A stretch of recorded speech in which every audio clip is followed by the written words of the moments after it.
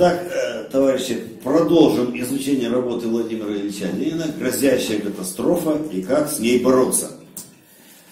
Э, мы рассмотрели первые восемь глав этой работы и начало девятой главы, которая, которую Владимир Ильич назвал «Разрушение работы демократических организаций правительством», он э, в этом самом начале как бы подводит итог рассмотрению вот тех мер, Э, которые необходимо было провести для того, чтобы э, победить грозящую катастрофу и надвигающийся голод. И вот эту девятую главу он так и начинает. Мы рассмотрели различные способы и методы борьбы с катастрофой и голодом.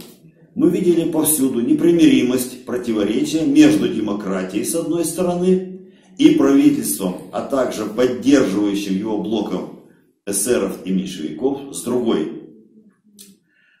И продолжает. В сущности, описанные выше меры борьбы с катастрофой и голодом сводятся к всестороннему поощрению, вплоть до принуждения, обсоюзивания населения и в первую голову демократии, то есть большинства населения. Значит, прежде всего угнетенных классов, рабочих и крестьян, особенно беднейших. То есть как бы в этой мысли он подчеркивает, что ну, наиглавнейшая мера борьбы с катастрофой и голодом – это э, объединение населения в борьбе за демократию. Вот так можно оценить эту мысль.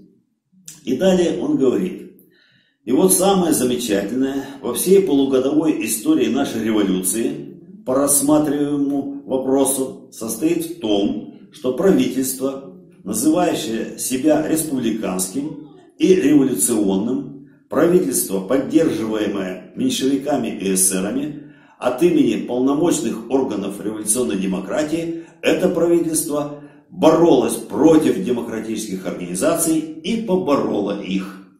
То есть правительство, хоть и называло себя революционно-демократическим, фактически, как утверждает Владимир Ильич, боролось с этой демократией. И далее вот в этой главе он рассматривает на примере Пальчинского, пешеходного министра труда, как правительство боролось вот, э, с, э, с демократическими организациями. Мы на подробностях на этих останавливаться не будем. Кому интересно, тот сам прочитает, работа это доступна. Вот, ну, время ушло, конечно, ситуация несколько иная, но тем не менее прочитать будет интересно. Я хочу остановиться на следующем в этой главе, что сказал Владимир Ильич. Правительство нарушает закон, принимая в угоду богачам, помещикам и капиталистам такую меру, которая губит все дело контроля продовольствия и оздоровления расшатанных до нельзя финансов. А эсеры и меньшевики продолжают говорить о соглашении с торгово-промышленными кругами, продолжают ходить на совещания с Терещенкой, с Терещенкой щадить Керенского и ограничиваются бумажной резолюцией протеста, которую правительство преспокойно кладет под сукно. Вот тут-то, как говорит Владимир Ильич, с особенной наглядностью обнаруживается та истина, что эсеры и меньшевики изменили народу и революции, и что действительным вождем масс, даже эсеровских и меньшевистских, становятся большевики. Ибо именно завоеванием власти пролетариатом с партией большевиков во главе его одно в состоянии было бы положить конец творимым керенскими компаниям, компанией, безобразием и восстановить ту работу демократических организаций, продовольствия, снабжения и так далее, которую Керенский и его правительство срывают.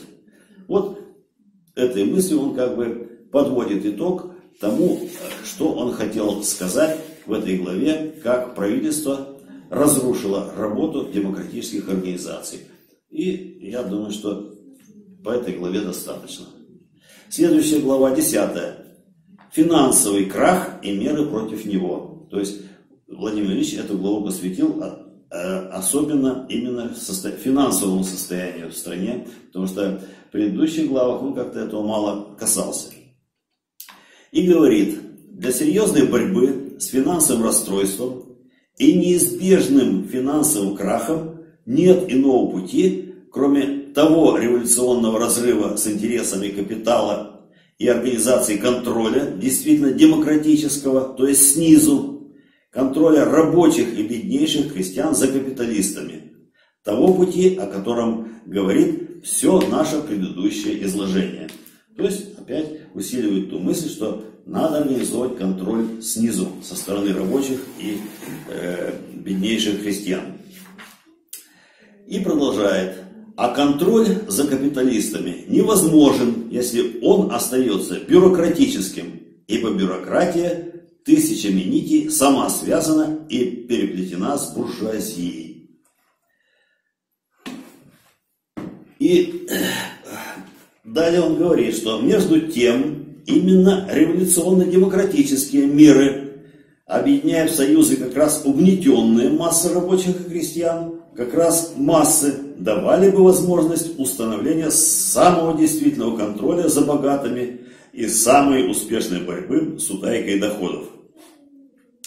Ибо без мер истинно революционных, без серьезнейшего принуждения капиталисты никакому контролю не подчинятся, своих бюджетов не откроют, запасы бумажек не сдадут под отчет демократического государства. То есть только под контролем возможно э, добиться э, принуждения, чтобы капиталисты этому контролю подчинились. Объединенные в союзы рабочие и крестьяне, национализируя банки, вводя чековое обращение как обязательное по закону для всех богатых людей, отменяя торговую тайну, устанавливая конфискацию имущества за утайку доходов и тому подобное, могли бы с чрезвычайной легкостью сделать контроль и действительным, и универсальным, контроль именно за богатыми, контроль именно такой, который вернул бы казне выпускаемые ей бумажки, э, бумажные деньги от тех, кто их имеет, от тех, кто их прячет. Для этого нужна революционная диктатура демократии, возглавляемой революционным пролетариатом, то есть для этого демократия должна стать революционной на деле. Вот так э, он оценивает те истинно, как он сказал, революционные меры, которые могут организовать контроль по всем направлениям э, в государстве. Ну и я думаю, что вот этих мыслей э, в 10 главе достаточно. И только заключительную, э, заключительную фразу этой главы хотел бы привести, э, ваш, э, обратить ваше внимание на эту заключительную мысль. Здесь Владимир Ильич сказал, в 20 веке в капиталистической стране нельзя быть революционным демократом, ежели бояться идти к социализму. И вот эта как бы заключительная фраза 10 главы, ну, можно сказать, является переходом Э, к следующей главе, к 11, которую он озаглавил. Можно ли идти вперед, боясь идти к социализму? Э, и начинает он с такой мысли, эту главу. Предшествующее изложение легко может у читателя, воспитанного на ходячих оппортунистических идеях эсеров и меньшевиков, вызвать такое возражение. возражение. Большинство описываемых здесь мер в сущности не демократические, а уже социалистические меры. Дескать, мы не созрели для социализма, рано вводить социализм. Наша революция буржуазная, поэтому надо быть в холопах у буржуазии. То есть, э, некоторые, особенно э, об этом э, говорит Владимир Ильич, Э, представители эсеровской и меньшевистской э, массы именно на, на этом, э, этой мыслью и пытались убедить население, что рано еще нам вводить такие меры социалистические. И поэтому Владимир Ильич продолжает. Услужающие буржуазии, горе-марксисты, которым перешли и эсеры, и которые рассуждают так, не понимают, что такое империализм, что такое капиталистические монополии, что такое государство, что такое революционная демократия.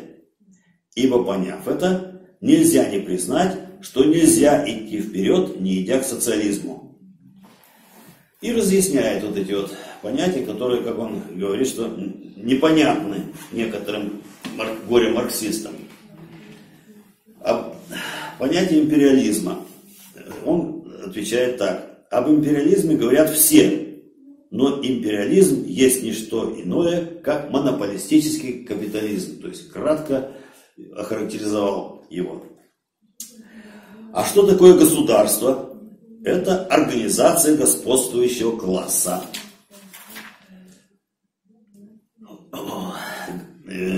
Поэтому государственно-монополистический капитализм при действительно революционно-демократическом государстве неминуемо, неизбежно означает шаг и шаги к социализму. Ибо социализм есть не что иное, как ближайший шаг вперед от государственно-капиталистической монополии. Или иначе, социализм есть не что иное, как государственно-капиталистическая монополия, обращенная на пользу всего народа и постольку переставшая быть капиталистической монополией. То есть, фактически, как вот говорит Владимир Ильич, что экономически это государство э, монополистическое, оно уже экономически готово к тому, чтобы перейти к социализму. Нужно только э, э, сделать некоторые определенные шаги. И поэтому он говорит, утверждает, что середины тут нет. Либо быть революционным демократом на деле, тогда нельзя бояться шагов к социализму, либо бояться шагов к социализму, осуждать их по-плехановски, по-дановски, по-черновски, доводами, что наша революция буржуазная, что нельзя вводить социализма. Вот э, поэтому, значит, либо так, либо так. И как бы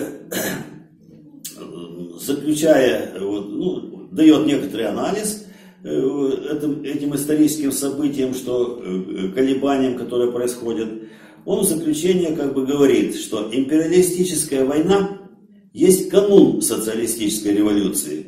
И это не только потому, что война своими ужасами порождает пролетарское восстание. Никакое восстание не создаст социализма, если он не созрел экономически.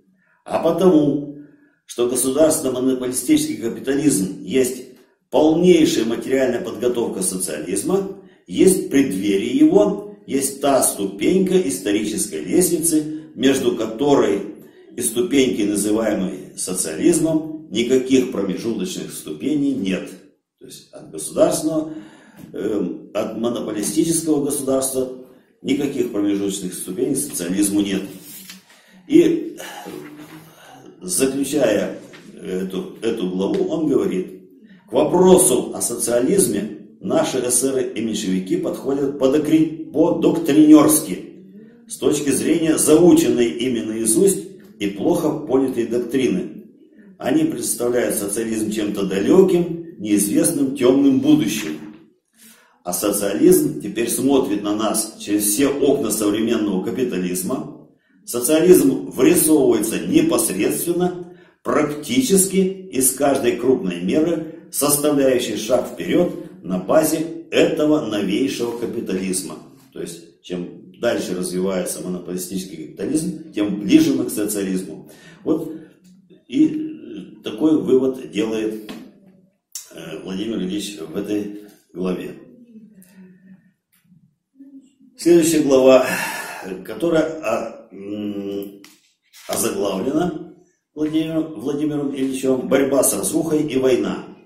Но поскольку у нас сейчас э, как бы состояние э, государства в мирном э, состоянии, особо ни с кем не воюет, если не считать там некоторых процессов, происходящих в Сирии, там в Карабахе, на Украине и так далее, то я хочу здесь вот из этой 12 главы то, что для нас, для нас, современников, важно, выделить две мысли. Две мысли. Первая мысль, которую э, излагает Владимир Ильич в начале этой главы, она заключается в следующем. Вопрос о мерах борьбы с надвигающейся катастрофой подводит нас к освещению другого важнейшего вопроса о связи внутренней политики с внешней, или иначе о соотношении между войной захватной, империалистической и войной революционной, пролетарской, между войной преступно-грабительской и войной справедливо-демократической. Все описанные нами меры борьбы с катастрофой чрезвычайно усилили бы, как уже нами было отмечено, обороноспособность или, говоря иначе, военную мощь страны. Это с одной стороны. А с другой стороны, эти меры нельзя провести в жизнь, не превращая войны захватной в войну справедливую, войны, ведомой капиталистами в интересах капиталистов, в войну, ведомую пролетариатом в интересах всех трудящихся и эксплуатируемых. То есть мысль это заключается в том, что если империализм развязывает войны, то их надо превращать в войну справедливую. И вторая мысль этой главы, которую я хотел бы тоже, на которой я хотел бы остановиться, вот какая тоже важная для нас, современников. Нельзя сделать страну обороноспособной без величайшего героизма народа, осуществляющего смело, решительно великие экономические преобразования. И нельзя вызвать героизма в массах, не разрывая с империализмом, не предлагая всем народам демократический мир – не, прекращая, не превращая войны таким путем из захватной, грабительской, преступной, справедливую, оборонительную, революционную. Только беззаветно последовательный разрыв с капиталистами и во внутренней и внешней политике в состоянии спасти нашу революцию и нашу страну, зажатую в железные тиски империализма. Вот такой мыслью он и заканчивает эту 12 главу, э, что касается значит, войны и борьбы с разрухой. Ну и заключительная глава этой работы озаглавлена следующим, э, следующей мыслью. Мыслью «Революционная демократия и революционный пролетариат. То есть соотношение двух вот этих понятий. И по этому поводу Владимир Ильич говорит, чтобы быть действительно революционной, демократия современной России должна идти в теснейшем союзе с пролетариатом, поддерживая его борьбу как единственного до конца революционного класса. В силу ряда исторических причин большей отсталости России, особых трудностей войны для нее, наибольшей гнилости царизма, чрезвычайной живости традиций 905 года в России раньше других стран вспыхнула революция. Революция сделала то, что в несколько месяцев Россия по своему политическому строю догнала передовые страны. Но этого мало. Война неумолима. Она ставит вопрос с беспощадной резкостью. Либо погибнуть, либо догнать передовые страны и перегнать их также и экономически. Ну вот э, что э, хочу э, как бы добавить к Владимиру Ильичу, что мы хоть и в состоянии, не в состоянии войны, но вот после той разрухи, которая произошла на рубеже 20-21 века, мы опять экономически отстали от развитых государств. И нам предстоит э, очень тяжелая работа, если придется их снова догонять. И развивая вот эту мысль, что либо погибнуть, либо догнать передовые страны и перегнать их экономически. Владимир Ильич э, говорит, погибнуть и на всех парах устремиться вперед. Так поставлен вопрос истории. И отношение пролетариата к крестьянству в такой момент подтверждает, соответственно видоизменяя ее, старую большевистскую постановку – вырвать крестьянство из-под влияния буржуазии, только в этом залог спасения революции. Дело в том, что Э, почему он ставит этот вопрос, что вырвать крестьянство? Ну, ведь, потому что крестьянство это наиболее крупная была на тот момент э, э, часть мелкой буржуазии, поэтому ее нужно было привлечь. Ну, в настоящее время, конечно, крестьянство у нас не столь многочисленно, но мелкой буржуазии у нас хватает. И вот эта мысль, что объединение интересов пролетариата и мелкой буржуазии, оно сейчас совершенно необходимо – она э, тоже действует и в настоящее время. Поэтому вот э, здесь рассматриваю эту необходимость, э, что нужно при, приближать мелкую буржуазию к пролетариату и их, ввести их коалицию с пролетариатом. Владимир Ильич говорит, что между буржуазией и пролетариатом стоит мелкая буржуазия. Она неизбежно в силу ее экономического классового положения колеблется между буржуазией и пролетариатом. Эсеры и меньшевики тянут мелкую буржуазию к союзу с буржуазией. За полгода революции эта политика потерпела полный крах. И поэтому в заключение этой главы и всей работы Владимир Ильич говорит – чем полнее крах союза буржуазии с эсерами и меньшевиками, тем быстрее научится народ, тем легче он найдет верный выход – союз беднейшего крестьянства, то есть большинства крестьян с пролетариатом. Ну, а для нас союз мелкой буржуазии тоже с пролетариатом, с рабочим классом. Вот я бы хотел на этом закончить. Пожалуйста, какие вопросы и какие есть предложения и мнения да, По... непонятно была э, так. мысль о том, что между капитализмом и социализмом нет этих ступеней, как там Да, то есть невозможно никакое другое общество между капиталистическим и социалистическим обществом. То есть, а, про да, то есть никаких промежуточных э, моделей общества не может быть. То есть от капитализма, от монополистического, несомненно, возможен только переход к социализму. Просто диаметрально противоположный интерес. Ну, диаметрально противоположный интересу буржуазии, пролетариата, конечно. Понятно. Не только диаметрально противоположный, но и непримиримы. Вот еще что. А в этом плане есть другой вопрос. Хорошо, Давай. вот э, Ленин пишет, что капитализм, когда он уже там в монополистической стадии развился, да. Там переход к социализму. Да. Но у нас есть пример Китая, какого-нибудь Вьетнама, Кореи, где как бы не то, что там монополии какой-то, там капитализм-то еще не развился. Они по факту были еще чуть ли не феодализм. Ну, тут видишь, это самое, Александр, тут очень много факторов, которые способствовали переходу. Ну, первый фактор, что социализм уже к тому времени, когда Китай перешел, э, уже существовал не одно десятилетие. Вот. И пример э, как бы Советского Союза вот, и его как бы, а, возможность оказать помощь Китаю, это сыграло свою роль. Да, конечно, что экономически не совсем готово было, э, может быть, государство и китайский народ к переходу в социализм. Но вот, видишь, оказанная помощь и как бы союз э, помогли эту задачу решить. Хотя экономически, конечно, не совсем был готов. Хотя, может, поэтому как раз-то Китай сейчас в себе и капитализм активно развивает, и монополии уже создает, и эти монополии под контроль государства переходят. Ну, я, вот что значит поэтому, э, я не, знаю, ты говоришь поэтому, а почему Нет, ну просто, вот смотрите. А дело в том, что, что, что такое э, этап социализма?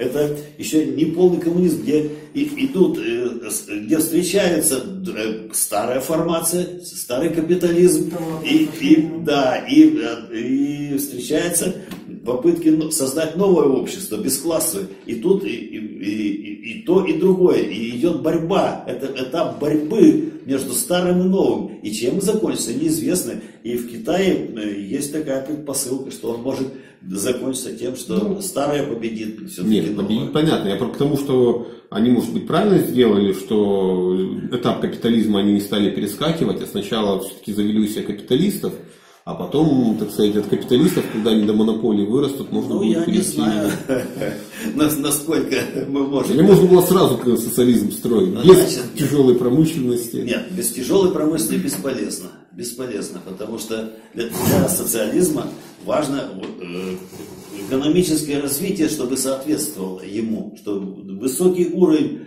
э, средств производства необходим, иначе это невозможно просто. Э, По целому ряду причин еще марксизм это доказал, ты же изучаешь капитал, там об этом тоже есть. Вот, поэтому... Чтобы быть от Да. капиталистов. Значит, э, и у нас-то э, тоже в, в России, а потом в Советском Союзе, мы что же экономически-то не очень были готовы, поэтому пришлось целый ряд вопросов через НЭП там и так далее решать те задачи, которые должны были решиться еще при капитализме, понимаешь? То есть перейдя к этапу социализма, мы те задачи, которые не решены были в условиях э, э, монополистического капитализма, вынуждены были решать в условиях и социализма, и поэтому не все у нас гладко получалось в стране. Ну, то есть опять получается, Советский Союз в самом начале все-таки еще занимался капитализмом, Ну, а потом решение только проблем, которые достались ему от капитализма, но которые должен был, нужно было решать еще в тот период, до, ви- до наступления социализма. Вот так примерно я рассматриваю эту проблему. То есть получается капиталистический этап пропустить нельзя. Скорее всего, да. Мо- Можно под контролем Компартии, но пропустить все равно нельзя. Может быть Его так. можно попустить, если есть поддержка другой компании. Да, да. Например, Корея, они же по сути не было у них Да. этапа капитализма. Да, ну Такого. то, что был социалистический лагерь, был Советский Союз, это великое дело, это великая помощь и великий пример людям, что можно сделать по- политически. Экономически, конечно, они отставали, но политически они продвинулись далеко вперед, понимаешь? Они политически ушли дальше, чем э, тот капитализм, который существовал даже э, в развитых странах. Вот э, в чем тут э, как бы разница. И это все способствовало тому, что социалистическая революция началась именно вот у нас, в нашей стране. В этом плане Я- надо сказать, что Советский пример. Союз же помогал не только идейно, там, армии, он Конечно. же еще Ну, и матери- заводы ставил. материально помогал, но по заводы. возможности. Не, не просто Да. присылал там Помогал. автомобили, вот заводы им строил во всех этих Помогал странах. экономически, школы, помогал экономически, но э, до бесконечности у, у, у нас-то у самих тоже были проблемы, их тоже надо было решать. То есть по мере возможности помогали. И тут Ну, получается, на в основном помощь шла технологиями. В основном технологиями, а не, Заводы, а не конкретным, как бы, это, там, денежными какие-то финансовыми средствами, а тех- помощь технологиями. То есть развивать экономику, развивать средства производства, а, потому что от развития средства производства, от их современности зависит и развитие социализма. Поэтому вот в этом в основном помощь-то заключалась.